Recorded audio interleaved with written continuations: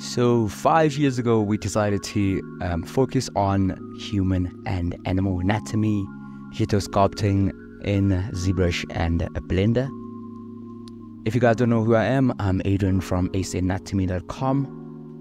Welcome to this channel where we share our entire process of how you can make your own 3D anatomy models, just studying anatomy in 3D.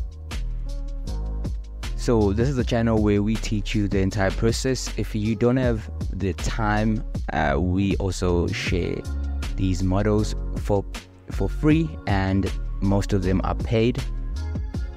But then, if you have the time, we teach you how to make complete human anatomy models for free on this channel. So if you want to know more about this, visit saanatomy.com or subscribe to his channel and check out all our videos where we have been sharing 3D anatomy model sculpting and modeling for many years now.